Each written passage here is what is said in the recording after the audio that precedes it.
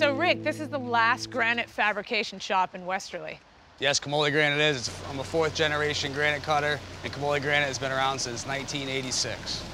So Jenn, here we have a piece of Westerly pink coarse granite that we're gonna use for the seven steps going up to the main landing. Okay. This, this slab right here is about six foot long, so we're gonna try to get two steps out of it.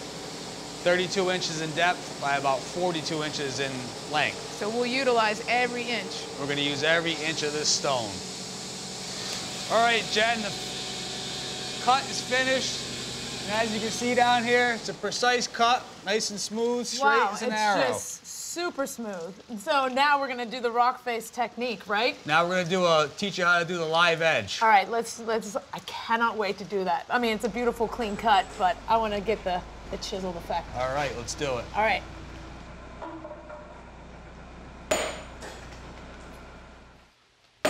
Hope it. Nice. That's Go in a little satisfying. bit more. Slide it this way so we can get more of the bite. Yeah.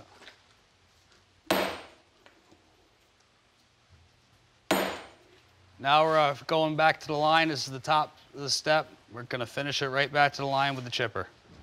All right, so this so this will be the tread surface when you walk up. So this this needs to be clean so no one's shoe catches on it. You right? got it. We're All gonna right. hit it with the chipper, then we're gonna take a little uh, pumice wheel and just take off the sharp edge by hand. Okay.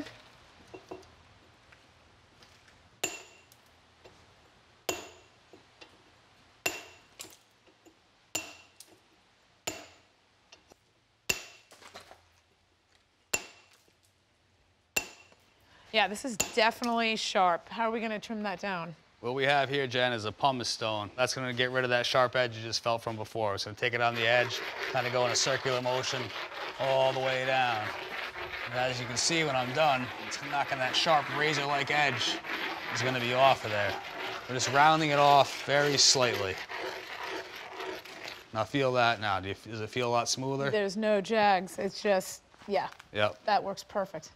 So we just have to rock face these two sides. This is the first finish edge and six more to go. Sounds good. I look forward to getting them set. All right, thank you.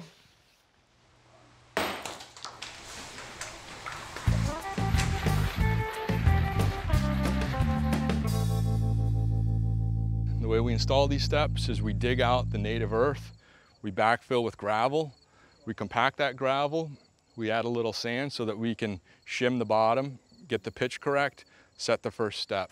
So now that we're ready to install the second step, we're gonna use this contraption here. This is a vacuum lift.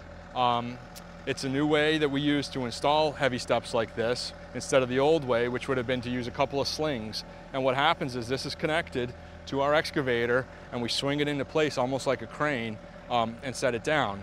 Now it uses a vacuum suction system and if there's a problem with the stone or it needs some kind of adjustment, we can very easily pick it back up, add a little more sand, level it out, set it back down. I have a question. So you said the, the stone pieces are about five, 600 pounds? Yeah, when they were delivered, um, they said they were each were about 600 pounds. Okay. So how many pounds does this one lift? So this particular unit will lift 1,400 pounds, so we're well within uh, the range. Is This is a lot safer too because no one's gonna have their fingers underneath the stone as we're pulling straps out like we used to. Okay, and that looks perfect. Great, thank you. It's deep enough that it's comfortable, but it's not too much because you want the right cadence Okay. walking up the step. So you want to give it a shot? Sure. That's yeah, it- perfect. it's more of a relaxed entry, informal entryway. Mm-hmm. So we had to do from point A to point B. The slope also dictated the length that we had to stretch it to. Right. So, and you wanted westerly granite. we did. I absolutely love these. Yeah, so I am excited about this, and the front's going to look great. So let's keep on going. Sounds good to me. Thanks for watching. This Old House has got a video for just about every home improvement project, so be sure to check out the others. And if you like what you see, click on the subscribe button to make sure that you get our newest videos right in your feed.